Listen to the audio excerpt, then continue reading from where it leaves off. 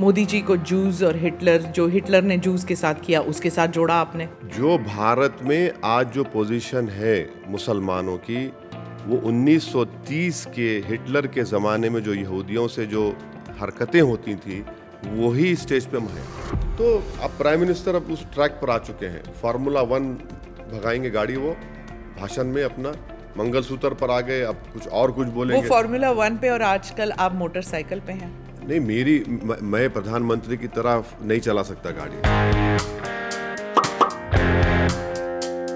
1950 का presidential order आप दे उसको अमेंड कर दीजिए उसमें ऐड कर लीजिए दलित मुस्लिम।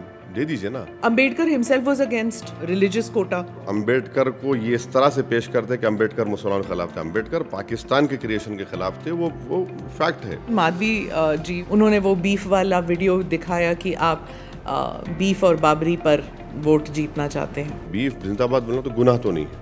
मकसद मेरा ये था कि बताना कि बीजेपी अलायना बीफ कंपनी से 10 करोड़ का इलेक्ट्रोल बॉन्ड लेगी तो वहाँ बीफ जिंदाबाद। चाहे खरगे साहब हो चाहे आप हो चाहे राहुल गांधी हो कहीं आपको कोई साया नज़र आ रहा है कि संविधान बदल रहा है? बस तो आप पहले कुछ तो ही दिनों में। क्यों मिला रहे आप? मगर 400 पार का मतलब ये है कि संविधान खतरे में है।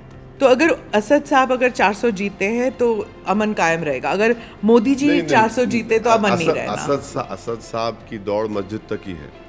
अस- असद साहब असद साहब को कोई प्राइम मिनिस्टर बनने का ना मैं ख्वाब देखता हूँ मुझे अपने लिमिट नहीं नहीं नहीं, मुझे अपने लिमिटेशंस मालूम। मैं लकीर का फकीर हूँ उसमें खुश हूँ मैं। मेरी गरीबी में शाही है बहुत खुश हूँ उसमें। मगर नहीं नहीं। अल्लाह मुझे भी कोई ऐसे गरीब बनाए जैसे आप है। बिल्कुल है बिल्कुल।